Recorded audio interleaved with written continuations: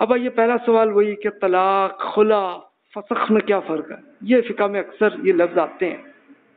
تو طلاق سمپل ہے کہ جس میں میاں بیوی میں علیحدگی کا فیصلہ ہوتا ہے کہ میاں بیوی سوچتے ہیں ہم نہیں رہنا چاہ رہے ایک دوسرے کے ساتھ۔ کوئی بھی اختلاف ہو سکتا ہے، جو بھی ریزن ہو۔ تو اب اس کے لیے طریقہ یہ ہوتا ہے کہ شوہر ایک باقاعدہ اعلان کرتا ہے کہ جناب ہم نے طلاق کر دی ہے اور وہ کوئی اکیلے نہیں کرے گا، خفیہ تو نہیں کرے گا، بلکہ ایک باقاعدہ اس کے لیے پوری دنیا کو بتائے گا۔ جن جن بھی ان کے رشتہ دار، دوست سب کو ایک باقاعدہ اعلان کر دے گا۔ تو یہ طلاق۔ اچھا خلا اس کے ایک دوسرے، یہ بھی طلاق ہی کا ایک طریقہ ہے خلا، لیکن اس کا طریقہ یہ ہے کہ بیوی کرنا چاہ رہی ہے علیحدگی شوہر اب وہ اس کا پروسیجر یہ ہے کہ بیوی مطالبہ کرے گی کہ جی طلاق کا اعلان کرو تم، شوہر کو کہیں گی۔ شوہر اگر شریف آدمی ہے تو طلاق دے دے گا، کر دے گا وہ۔ اور اگر نہیں ہوا، شوہر نے طلاق نہیں دی، تو اب یہ معاشی اختلاف، یہ اس نوعیت کی سچویشن ہو سکتی ہے نا۔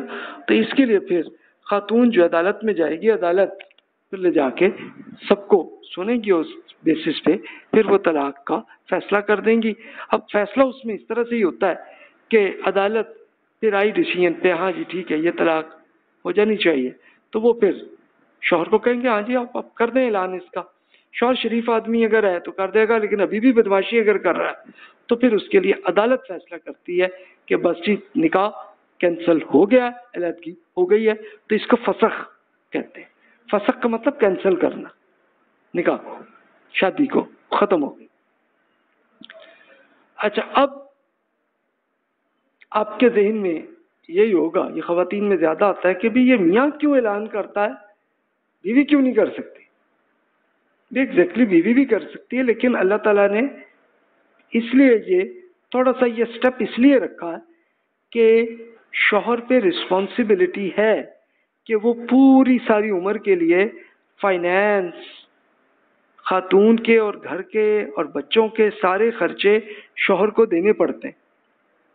تو اس لیے اللہ تعالیٰ نے شوہر کو یہ دی ہے رسپانسبلٹی کہ بھی آپ طلاق کا اعلان کریں۔ گے اچھا بیگم کے لیے صرف اتنا کیا ہے کہ ان کی بھی پوری اتھارٹی ہے، وہ بھی طلاق کر سکتی ہیں، لیکن اس کے لیے بس پروسیجر اتنا سا رکھا ہے کہ ابھی آپ شوہر کو کہیں۔ شوہر دے دے، ٹھیک ہے، نہ دے تو پھر وہ عدالت میں جاتا ہے معاملہ اور عدالت کر لیتی۔ تو ہو جاتا ہے، خاتون کی بھی پوری اتھارٹی ہے۔ اچھا اب آپ کے ذہن میں یہی سوال ہوگا کہ بھی یہ دونوں میں فرق کیوں؟ فرق اسی لیے کہ شوہر پہ فائنینشیل رسپانسبلٹی اب ظاہر ہے کہ وہ خرچے کر چکا، دے بیٹھا، سب کچھ ہو گیا، تو اس لیے کمپلیکیشن ہو سکتی ہے نا۔ آپ نے کیس ایسے دیکھے ہوں گے کہ جیسے جناب شادی ہوئی، شادی کے بعد اب ہوا کیا کہ شوہر نے بیگم کو گھر دے دیا۔ گھر بھی اب لیگل، بیگم کے نام پہ آ گیا، سب کچھ ہو گیا۔ اور کچھ دن بعد ہی خاتون اب کہہ رہی ہے طلاق۔ تو وہ طلاق دے کے چلی جائے گی تو یہ تو شوہر پہ زیادتی ہوگی نا۔ کہ اس نے تو گھر دے دیا بھی اور گاڑی بھی دے دی اور زیورات بھی دے دی اور اگلی لے کے جناب چلی گئی۔ تو اس لیے اللہ تعالیٰ نے یہی ایک پروسیجر رکھا کہ بھی خاتون مطالبہ کرے۔ اس کے بعد یہ بالکل ایسے ہی ہے۔ کہ جسٹ لائک آپ کا جو گھر ہے، یہ ایک باقاعدہ ایک انسٹیٹیوٹ بنا ہے۔ انسٹیٹیوٹ اس لیے بنا ہے تاکہ میاں جو ہے وہ خدمت کرے فائنینشیل میٹرز کی۔ بیگم پہ اپنی رسپانسبلٹیز ہیں۔ رسپانسبلٹی یہ ہوگی کہ آگے جا کے بچے پیدا ہوں گے، بچوں کو دودھ پلائیں گی، بچوں کی پرورش کریں گی، سارا وہ کریں گی معاملات۔ اور شوہر جو ہے وہ اپنے اس بچے کے لیے بیس پچیس سال تک ان کی بیٹے کی یا بیٹی کی خدمت کرتا رہے گا۔ یہ نکاح ہے نا۔ تو اب ہوتا یہ کہ اگر بیچ میں کسی ایسی جگہ علیحدگی کا ہو گیا معاملہ، تو اس لیے یہ بالکل ایسے ہی ہے کہ جیسے آپ ایک کسی انسٹیٹیوٹ میں آپ جب جوائن کرتے ہیں، تو آپ کا ایک ایگریمنٹ ہوتا ہے اس کمپنی کے ساتھ یا اس کے۔ تو پھر کیا ہوتا ہے کہ اگر آپ صحیح طرح سے رسپانسبلٹیز پوری نہیں کر رہے، تو اس کے لیے پھر سی او یا ایچ آر کے ہیڈ جو ہیں، وہ باقاعدہ آپ کا اعلان کرتے ہیں کہ جناب آپ کی خدمت کی ہمیں ضرورت نہیں ہے اور اس پہ پھر باقاعدہ ایک لیگل ڈاکومنٹ لے کے دے دیتے ہیں کہ جناب آپ کی جاب ختم ہوگی۔ لیکن ایک دم نہیں ہوتی، اس کے لیے بھی ایک مہینے تک کا پیریڈ رکھتے ہیں تاکہ ایک مہینے تک جو جو رسپانسبلٹیز ہیں، آپ پوری کر دیں ڈاکومنٹس دے دیں اور جائیں۔ اور آخری مہینے کی سیلری بھی ملتی ہے۔ اچھا اور اگر وہ امپلائی اگر جاب چھوڑنا چاہ رہا ہے، تو وہ بھی اسی طرح سے ہی، وہ بھی ایک اعلان کرتا ہے۔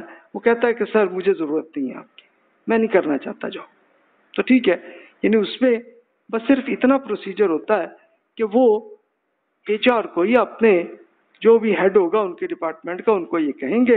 اور بس ایک سمپل ایک ای میل ہوتی ہے وہ کہہ دیتے ہیں ہاں جناب، ٹھیک ہے، میں جا رہا ہوں، ٹھیک ہے، تو اس کے لیے اور کچھ نہیں ہوتا۔ ان صاحب کو بھی جاب پھر ختم ہو جاتی ہے اگر وہ رکھنا ہی چاہ رہے ہیں، تو وہ آپ کو کہیں گے کہ جناب، آپ پلیز نہ جائیں۔ اور جا کے آپ کی اگر سیلری کم ہے، تو سیلری بڑھا دیتے ہیں، یا جو کرنا ہے، وہ کر لیتے ہیں۔ آپ سے ریکویسٹ ہی کر سکتے ہیں، آپ پہ کوئی ذمہ داری نہیں کر سکتے۔ اور پھر نہیں مانتے تو ٹھیک ہے، پھر اس کے بعد مہینے بعد آپ کی جاب ختم ہو جاتی ہے۔ لیکن ایک مہینے کے آپ کو سیلری وہ دے کے اور بس جناب آپ چلے جاتے ہیں۔ تو یہی ہوتی ہے نا۔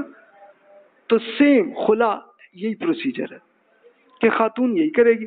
لیکن اگر شوہر چاہ رہا ہے کہ نہ جائیں تو وہ پھر وہ بھی ریکویسٹ ہی کریں گے نا بیگم کو کہ پلیز آپ نہ جائیں۔ دیکھیں یہ بچوں کا ہے، بچے، ان کی آپ پلیز کیئر کر لیں۔ میں یہ آپ کو اگر یہ مسئلہ ہے تو میں حل کر دیتا ہوں۔ یہ سلسلہ ایسے ہوگا نا شریف آدمی۔ ہاں اگر کوئی بدماش آدمی ہے تو پھر تو کچھ ہو سکتا ہے۔ تو اس کے لیے پھر یہی ہوگا کہ وہ عدالت میں جائیں گی۔ اچھا وہ عدالت کا پروسیجر بڑا مشکل رہا ہے ہمارے یہاں۔